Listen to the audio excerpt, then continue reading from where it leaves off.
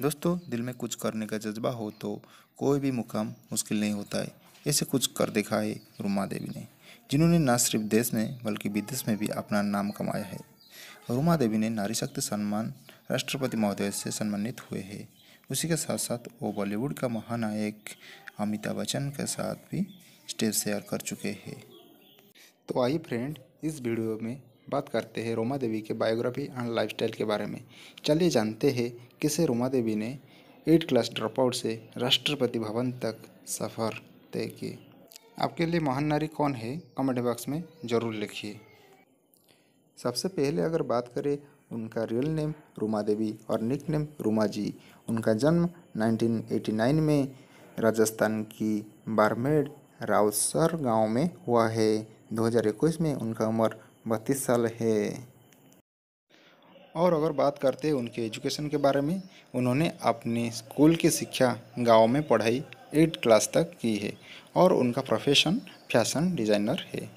आइए बात करते उनके रुमा देवी के कैरियर और शुरुआत की ज़िंदगी के बारे में।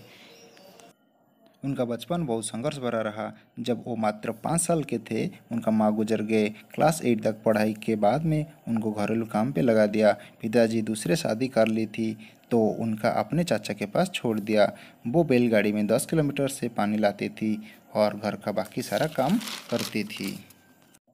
और साथ ही दादी के साथ कसीदाकारी काम सीखती थी। उनका शादी सत्रह साल की उम्र में कर दी थी। उनको ससुराल घर का आर्थिक स्थिति भी इतना अच्छा नहीं था। पैसा के अभाव में वो अपना पहला बेटा का इलाज नहीं कर पाए और उसका मौत कम उम्र में हो गई यहाँ से रुमा देवी के जीवन में नया मोड़ आया। उसके बाद वो कुछ करने की ठानी। बचपन में दादी से सीखी कसीदाकारी काम को दीप देवर स्वयं सहायक समिति बनाकर शुरुआत की ताकि परिवार में कुछ आमदनी हो सके।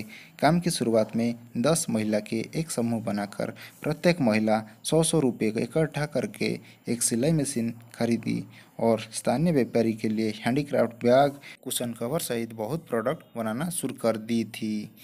बाद में उन्होंने सामाजिक कार्यकर्ता विक्रम सिंह के गाइडेंस में ग्रामीण विकास चेतना संस्था के साथ जुड़ गए। संस्था पहले से ही महिला विकास के लिए कार्य करता था। इस संस्था के मार्फत में शानदार प्रोडक्ट बड़े बड़े शहर में भेजना शुरू कर दिया, जहाँ उनको अच्छी कीमत के साथ सफलता भी मिली। उसके साथ ही पड़ोसी शहर की बाईस हज़ार महिला को अपना काम पे जोड़ दी, जिन्हें भी अच्छी आर्थिक मदद मिली। उनका product Germany Sri Lanka Thailand Malaysia Singapore में भी फ़ैशन शो में बड़े बड़े डिज़ाइनर के द्वारा प्रदर्शित किया जा चुके हैं। रुमा देवी ने सदी का महानायक अमिताभ बच्चन के साथ कौन बनेगा करोड़पति का स्पेशल एडिशन कर्मवीर में भी हिस्सा ले चुके हैं। इसके अलावा 2018 में देश का सर्वोच्च सम्मान, नारी शक्ति पुरस्कार से भी राष्ट्रपति द्वारा सम्मानित हो चुके हैं। इसके साथ ही पिछले दिनों में हाबाड़ यूनिवर्सिटी में आयोजित कॉन्फ्रेंस में शामिल हुई और जहाँ स्टूडेंट को कसीदी कला की बारीकियाँ शेयर की। अभी बात करते हैं रोमा जी के फैमिली के बारे में। वो रिलीजन में हिंदू और जाति से जाट है। ये सात बहन है, जिसमें वो सबसे बड़ी है। इसी के अलावा उनका दादी है, जिससे वो कसीदाकारी काम सीखे थे। साल 2005 में उनका शादी जगदीश सिंह के साथ हुई थे और उनका एक पुत्र भी है, जिसका नाम लक्षित है। अगर बात करें उनकी हॉबी की, कुकिंग के साथ राजस्थानी देसी सॉन्ग बहुत पसंद है। ये स्थानीय कलाकार को सपोर्ट और प्रमोट करते हैं। उसी के अलावा सामाजिक कार्यक्रम में बढ़ चढ़ के हिस्सा लेते हैं। उनका income approximately one lakh to two lakh per month होता है। ये अभी भी विलेज में रहते हैं। दोस्तों, ये एक साधारण महिला का असाधारण कहानी है।